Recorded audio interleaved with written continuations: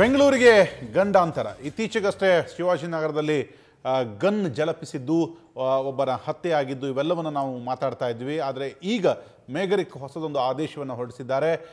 ಡ್ಯೂಟಿಗೆ ಹೋಗುವಾಗ ಅಥವಾ ಸ, ರೌಂಡ್ಸ್ಗೆ ಹೋಗುವಾಗ ಸರ್ವಿಸ್ ರಿವಾಲ್ವರ್ಗಳನ್ನು ಸ್ಟೇಷನ್ನಲ್ಲಿ ಬಿಟ್ಟು ಹೋಗಬಾರ್ದು, ಕಡ್ಡಾಯವಾಗಿ ತೆಗೆದುಕೊಂಡು ಹೋಗಬೇಕು ಅನ್ನುವಂಥ ಒಂದು ಆದೇಶವನ್ನು ಹೊರಡಿಸಿದ್ದಾರೆ. ಈ ಬಗ್ಗೆ ಇನ್ನಷ್ಟು ಮಾಹಿತಿಯನ್ನು ನೀಡ ಪಡಿಬಹುದು ನಮ್ಮ ಪ್ರತಿನಿಧಿ ನವೀನ್ ನಮ್ಮ ಜೊತೆ ಸಂಪರ್ಕದಲ್ಲಿದ್ದಾರೆ.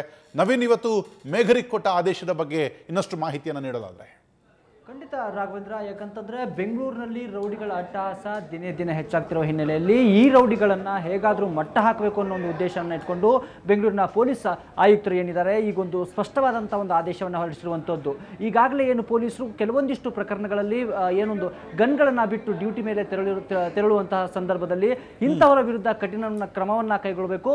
ನಂತರ ಈಗಾಗಲೇ ಏನು ಆದೇಶ ಸ್ಪಷ್ಟವಾದಂಥ ಆದೇಶವನ್ನು ಕೊಟ್ಟಿರುವ ಹಿನ್ನೆಲೆಯಲ್ಲಿ ಯಾರ್ಯಾರು, ಅಂದರೆ ಈಗಾಗಲೇ ಏನು ಪೊಲೀಸರು ಏನು ಒಂದು ಈ ಈ ರೀತಿಯಾದಂಥ ಘಟನೆಗಳು ನಡೀತಾ ಇದೆ. ಈ ರೀತಿಯ ಘಟನೆ ಮತ್ತೊಮ್ಮೆ ಮರುಕಳಿಸದೇ ಇರುವಂಥ ಇರುವಂಥ ರೀತಿಯಲ್ಲಿ ತಮಗೆ ಕೊಟ್ಟಂತಹ ಆಯುಧಗಳನ್ನು ಏನೋ ಒಂದು ಗನ್ ಇರುವಂಥ ಗನ್ಗಳನ್ನು ಕಡ್ಡಾಯವಾಗಿ ತೆಗೆದುಕೊಂಡು ಹೋಗಬೇಕು. ಈ ಹಿನ್ನೆಲೆಯಲ್ಲಿ ಕೆಲ ರೌಡಿಗಳ ಇದರಿಂದ ಅಂದರೆ ಗನ್ಗಳನ್ನು ಕ್ಯಾರಿ ಮಾಡೋದ್ರಿಂದಾಗಿ ರೌಡಿಗಳಲ್ಲಿ ಎಲ್ಲೋ ಒಂದು ಕಡೆಗೆ ಭಯ ಉಂಟಾಗುತ್ತೆ.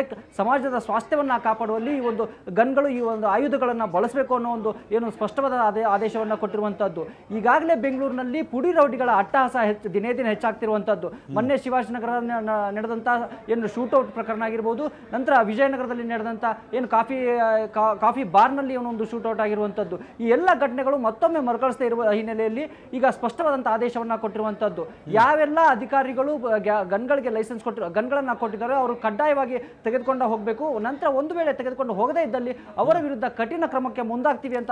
ಮೇಘಾರಿಕ್ ಅವರು ಆದೇಶ ನೀಡಿದ್ದಾರೆ ರಾಘವೇಂದ್ರ. Thank you Naveen. ನಾನು ಈ ವಿಚಾರವನ್ನು ನಿಮ್ಮ ಜೊತೆ ನಾನು ಮತ್ತೆ ಚರ್ಚೆ ಮಾಡ್ತೀನಿ. ಅದಕ್ಕೂ ಮುಂಚೆ ಬೇಗಂ ಜಾಮ್ ಅವರನ್ನೇ ಮಾತಾಡಿಸೋದಾರೆ ಬೇಗಂ ಜಾನ್ ಅವರೇ ನಿಮ್ಮ ಮನೆಯಲ್ಲಿ ಹಿಂದೆಯೂ ಕೂಡ ಈ ಥರದ ಚಟುವಟಿಕೆಗಳು ನಡೆದಿತ್ತು ಅನ್ನುವಂಥದ್ದು ಅಂದರೆ ಯಾರು ಮೊನ್ನೆ ಹತ್ಯೆಯಾಗಿ ಹೋದ್ರಲ್ಲ ಫರ್ವೇಜ್ ಅವರ ತಂದೆ ಲತೀಫ್ ಅಂದರೆ ನಿಮ್ಮ ಯಜಮಾನರು ಅವರು ಕೂಡ ರೌಡಿ ಆಕ್ಟಿವಿಟೀಸ್ನಲ್ಲಿ ಇದ್ದರು ಅನ್ನುವಂಥ ಮಾಹಿತಿ ಪೊಲೀಸ್ ಇಲಾಖೆಗಳಿತ್ತು ಅದು ಕೂಡ ನಿಜಾನ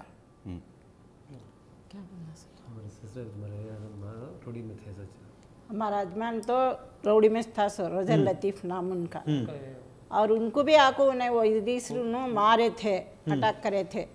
मार को जाने में हमें जाको स्टेशन में कंप्लीट दिए। आठ साल होगा वो। जब ये है ना चुपके मुने उमर को भी चले गए। अभी जाको बेटे कने रोल काल कर को उसको तकलीफ़ दे को उसको जान से मार डाले मेरे बच्चे को। अभी वो कूली मजदूरी कर को खाता था वो कुछ भी नहीं करता था। पहले उन्हें भी जरा रोडिज्म करता था मेरा बेटा। अभी मरियाना परवीज सुल्तान। अभी वो सब छोड़ को ऑटो शेड रात में ऑटो शेड कभी भी। बोलिए नहीं इसको इसने ऐसा करना नहीं करके। पहले करता था साहब नहीं जी नहीं जी आप बोलना था ना। माँ होके बोल बोल सकता था ना। माँ होके समझाती वो समझा समझा को उसको छोड़ दिया वो रोडिज्म करना।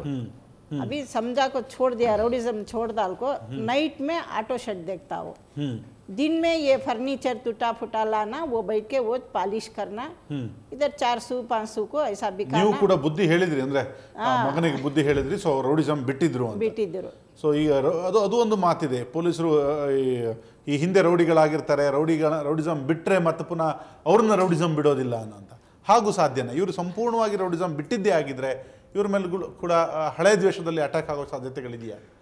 ಅಲ್ಲ ನೋಡಿ ಬಿಟ್ಟಿದ್ದೀವಿ ಅಂತ ಹೇಳ್ಕೊಳ್ಳೋದು ಸುಲಭ. ಬಿಡಬೇಕು. ಬಿಡೋದಿಲ್ಲ.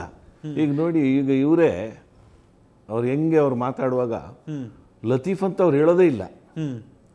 ರೇಜರ್ ಲತೀಫ್ ಅಂತಾರೆ. ರೇಜರ್ ಲತೀಫ್ ಅಂತ ಯಾರಾದರೂ ಹೆಸರು ಇಟ್ಕೊಳ್ಳಿಕ್ಕೆ ಸಾಧ್ಯವಾ?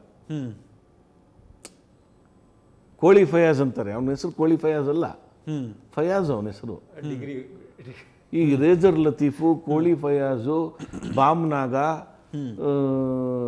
ಬ್ಲೇಡ್ ರಾಜ ಇದೆಲ್ಲ ಇದೆಯಲ್ಲ ಇದು ಯಾವಾಗ ಇದನ್ನು ಉಪಯೋಗಿಸ್ತಾರೋ ಅವ್ರು ಇದನ್ನು ಬಿಟ್ಟಿಲ್ಲ ಅಂತಲೇ ಅರ್ಥ. ಎಸ್ ಬಿಟ್ಟಿಲ್ಲ ಅಂತ ಅರ್ಥ. ಬಿಡಬೇಕು ಅಂದರೆ ಅವನಿಗೆ ಆ ಪರಿಸ್ಥಿತಿಯಿಂದ ಹೊರಗಡೆ ತರಬೇಕಾದ್ರೆ ಆ ಅಲ್ಲಿನ ಸಮಾಜದ ಮುಖ್ಯಸ್ಥರ ಜವಾಬ್ದಾರಿ ಇದೆ.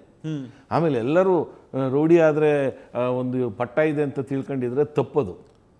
ಆಮೇಲೆ ನಾವೀಗ ಶಿವಾಜಿನಗರನೇ ನೋಡ್ತೀವಿ. ಆ ಪಾಯಿಂಟ್ ಏನಿದೆಯಲ್ಲ ಶಿವಾಜಿನಗರ ಎಷ್ಟೋ ವರ್ಷದಿಂದ ನೋಡ್ತಿದೀವಿ. ಈ ತರದ ಬೆಳವಣಿಗೆಗಳು ಘಟನೆಗಳು ಪದೇ ಪದೇ ಪದೇ ಶಿವಾಜಿನಗರ ಪೊಲೀಸರ ಕೈ ಮೀರಿದ ಏರಿಯಾ ಇಲ್ಲ ಇಲ್ಲ ಇಲ್ಲ? ಇಲ್ಲ ಯಾವತ್ತಿಗೂ ಕೈ ಮೀರಿಲ್ಲ.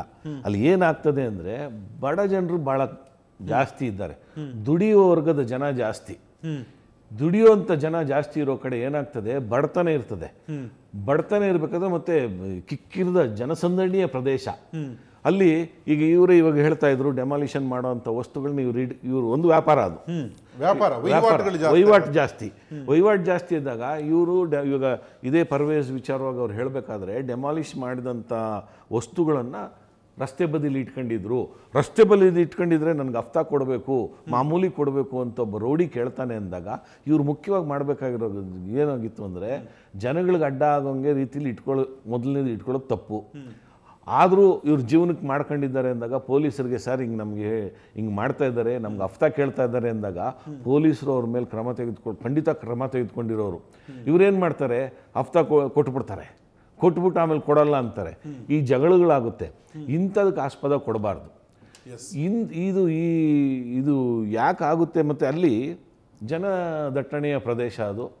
ವ್ಯವಹಾರಗಳು ತುಂಬ ತುಂಬ ದೊಡ್ಡ ಮಟ್ಟದ. ವ್ಯವಹಾರ ಅಂದ್ರೆ ವ್ಯಾಪಾರ ನೋಡ್ಲಿಕ್ಕೆ ಸಣ್ಣದು ಅನ್ಸುತ್ತೆ. ಅದು ದೊಡ್ಡ ಮಟ್ಟದಲ್ಲಿ ಅಲ್ಲಲ್ಲ ನಿರುದ್ಯೋಗ ಸಮಸ್ಯೆ ಇವಾಗ ನೋಡಿ ಅಲ್ಲಿ ಮತ್ತೆ ಮತ್ತೊಂದು ಸರ್ ಅಲ್ಲಿ ಮೊದಲಿಂದನೂ ಈ ಪ್ರತಿಷ್ಠೆಯ ವಿಚಾರ ಇದೆ ಅನ್ನುವಂಥದ್ದು.